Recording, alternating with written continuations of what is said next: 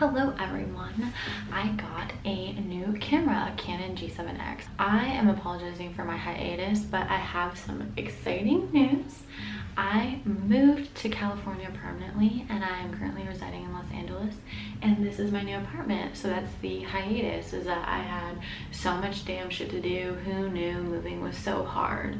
I'm excited to show you guys all of my adventures here. I think life is gonna turn in a different direction and I had to completely dispel of my past and look forward to the future and move away from things that were like holding me down and pulling me back while doing this, I also submitted myself to full psychotherapy because um, my depression got to the point where I couldn't take it, excuse the airplane, and I needed help. And in doing this, I think it allowed me to find the strength I needed and the bravery I needed to make a huge move such as this one. I'm absolutely broke.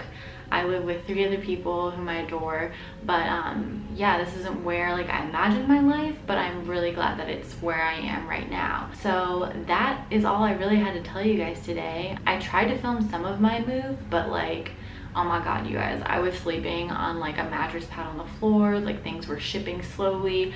It was you know it's been hard. There's my bed. Here's this big post in the middle of my room. There's like a hanger thing there. Yeah anyways i have full faith that life gives you what you want if you have the courage to ask.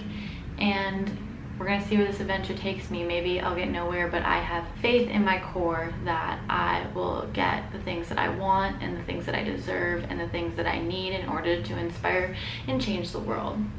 I love you all